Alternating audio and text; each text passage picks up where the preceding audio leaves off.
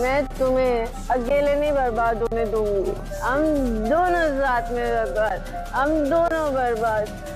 शराब के नशे में चूर होकर सुहानी ने रणबीर से कही अपने दिल की बात।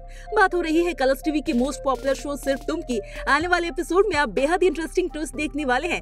आने वाले एपिसोड में आप देखने वाले हैं कि सुहानी जो है वो शराब के नशे में चूर हो जाती है और रणबीर के घर पहुँच जाती है, जहाँ पर सुहानी जो है लड़खड़ाती हुई आवाजों से रणबीर से कहती है, मैं तुम्हें अकेले अपना करियर बर्बाद नहीं करने दूँगी।